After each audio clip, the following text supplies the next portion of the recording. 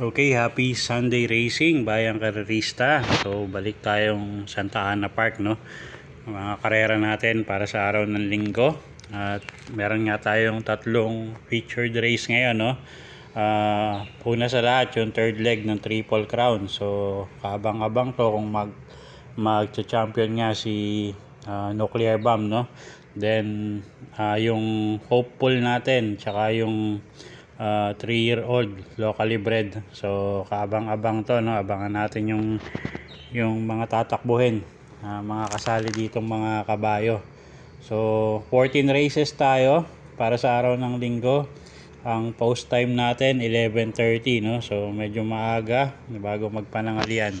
Inulit ko po 14 races 11:30 ng umaga yung post time. Okay, start na natin mga giya para sa araw ng linggo. Race 1, Class 4, 22 to 27, 1300 meters. First choice, couple entry numero 1, Yes Kitty, tsaka si Sweet City. So, ito nabitin lang nakaraan, no? si Yes Kitty. Uh, tapos, sumentado sa Hineti ngayon. Ang second choice natin, yung numero 8 na si Proud Idol, sasaka ni Dan Camanyero. Okay, so dito sa race 1, uh, 1-8, Uh, first choice nga couple entry na Yes Kitty tsaka si Sweet City. At second choice numero 8 Proud Idol. Okay, race 2 tayo. Class 4, 16 to 21 bracket. 1300 meters yung distansya. First choice natin, no? Uh, numero 4, Stay Ready. Yung sasakyan ni O'Neal Cortez. So, ito, ang ganda ng huling tinakbo. Ang second choice natin, yung numero 9 na si Cole Digger, sasakyan ni CS Pare Jr. At uh, third choice, pang dehado, numero 8 na si Batang Madrid na lagi rin consistent no, sa unahan. So dito sa race number 2, uh, 498, ang first choice nga natin yung numero 4 na si Stay Ready. Ang second choice natin yung numero 9 na si Cole Digger. Uh, third choice, numero 8 na si Batang Madrid. Okay, uh, next race tayo, race number 3. Uh, class 5-5, no? Uh, split group, 1300 meters yung distansya. So first choice natin, numero 11, Put a Tiger in Your Tank, ang sasakyan ni Jericho Serrano. Ang second choice natin, yung numero 9 na si Hello Junior.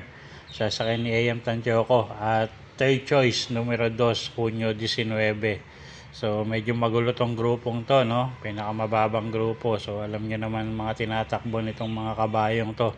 So dito sa race number 3 nga 1192 first choice numero 11 put a tiger in your tank second choice numero 9 hello junior at third choice numero 2 na si Junyo 19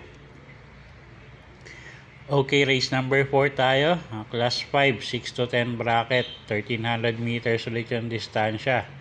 So, first choice natin yung bagong baba sa grupo na si Ultimate Royal, sasakay ni Toy Guerra. Ang second choice natin yung numero 7 na si Double Sunrise. Ito, medyo gamay ni Renzo Baldo to. Siya yung papatong ngayon, no? At third choice natin yung numero 2 na si Expensive nagagabayan ni O'Neal Cortez. So dito sa race 4, uh, 672. First choice nga natin yung numero 6, Ultimate Royal. Ang second choice, numero 7 na si Double Sunrise. At third choice, numero 2, Expensive. Okay, race 5 tayo. So, ito yung 3-year-old locally bred natin. No? At medyo mahaba yung distansya, 2,000 meters. So first choice natin si Hook on the Run. Sasakyan ni O'Neal Cortez. So ito yung huling takbo nito dun sa uh, second leg ng Triple Crown. So medyo nakikita naman natin ang remate. So tingin ko lamang to rito. Ang second choice na rin natin, numero 4, isa rin de remate na si Roll Daday. Sasakyan ni uh, Jan Alvin Guse. So dito sa race 5, uh, 3-4. First choice nga, numero 3 na si Hook on the Run. At second choice natin yung numero 4 na si Roll the Dice. Okay, punta tayong next race. Race number 6, uh, class 4. 22 to 27 bracket. 1300 meters yung distansya. Ang first choice natin dito yung couple entry na numero 8, old timer, tsaka si Munich. So si Munich, si O'Neil Cortez na yung gagabay ngayon, no? So tingin ko may i-improve yung tatakbuhin niya ngayon. At second choice na rin natin yung numero 2, yung mababa na rin sa grupo na si Chic Chariot. Medyo hindi lang natin alam, no? Uh, medyo hindi maganda yung pinapakita ni Caballo lately. Pero ngayon si JB Hernandez na yung papatong. So race 6, 8-2 tayo. First choice nga, couple entry numero 8, old timer, tsaka si Munich. Second choice numero 2, Chic Chariot. Okay, race 7 tayo. So Hopeful Stakes Race, 2,000 meters din yung distansya, no? So first choice natin, couple entry na numero 3, na si Lavidior, tsaka si Oso Lemillo. So alam naman natin medyo uh, magandang rumimati itong dalawang couple entry na to. So sila yung first choice natin. Gagabayan pa ni Dan Camanyero tsaka ni KB Abobo. No? So uh, sila yung first choice natin. Second choice natin numero 6, Shanghai Silk. So race number 7, uh, 3-6, first choice couple entry numero 3, Labidior at Osole Mio. At second choice numero 6, Shanghai Silk. Okay, race 8 tayo. Uh, plus 5.5, 1300 meters yung distansya. Ang first choice natin, numero 8, na si Happy Man. Nasasakay ni NJ Esteban. Ang second choice natin, medyo dehado, no? numero 9, na si Sanko Sant. Sasakay ni Lester F. De Jesus. At third choice natin, yung numero 10 na si pa, numero 1 na si Concert King. Sasakay ni RC Susan. So dito 891 tayo sa race number 8. Uh, first choice nga numero 8 Happy Man. Ang second choice numero 9 Sangko Sant at third choice numero 1 uh, Concert King. Okay, race 9 tayo. Uh, class 5, 6 to 10 bracket, 1300 meters. First choice natin, no, yung bagong baba sa grupo, numero 7 na si Minotaur. Nasasakay ni JM Estorque. Second choice natin, yung couple entering Wild Pine, tsaka Sunday Surprise. So, baba sa grupo rin si Sunday Surprise. So, baka mag-improve siya dito sa grupong to. At third choice, numero 1 na si Shining Star. Sasakay ni no, PJ Guse. So, dito sa race number 9, uh, 751 First choice nga numero 7, Minotaur. Second choice, couple entry numero 5, Wild Pine, tsaka si Sunday Surprise. At third choice, Shining Star. Okay, punta tayo next race, race number 10. So, ito na yun yung ano, uh, third leg ng Triple Crown natin. Ang first choice natin, yun na rin uh, uh, looking for the championship no yung numero 7 na si Nuclear Bomb looking for the Grand Slam sasakay ni Pabs Caballejo ang tingin ko pwedeng umupset na rin sa kanya numero 3 na si uh, Kevlar sasakay ni JT Sarate kasi huling nung nakaraang second leg biglang dating sa meta to no so tingin ko siya na rin yung may chambang maka-upset kung meron man makaka-upset kay Nuclear Bomb Okay, so dito, uh, first choice nga, numero 7, Nuclear Bomb. Hopefully, maka ulit tayo ng isang Grand Slam champion, no? At second choice, numero 3, Kevlar. Okay, race 11, uh, class 4, 16 to 21 bracket. First choice, numero 7, Copernicus, sasakay ni O'Neil Cortez.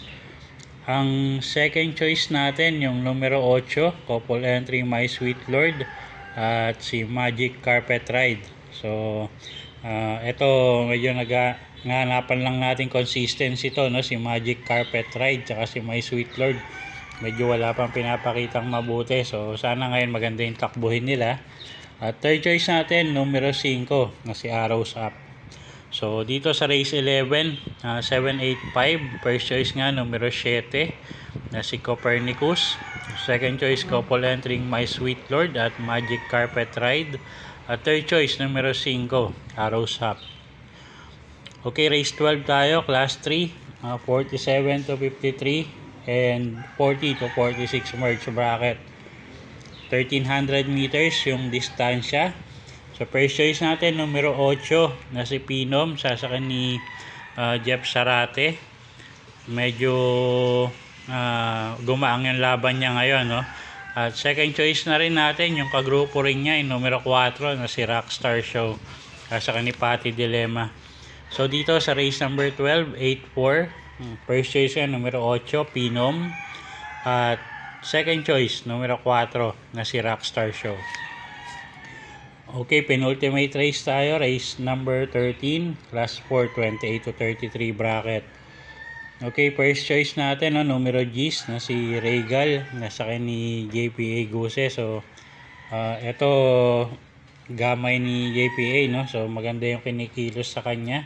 Tsaka, ayun nga, uh, ito yung nakalaban ni Batang Cabrera dati. So, tingin ko kaya niya yung grupo ngayon. Second choice natin, numero 4, La Guardia. Sasakay ni O'Neal Cortez. At third choice, numero 3, Crown in My Head. Sasakay ni Jan Alvin Guse.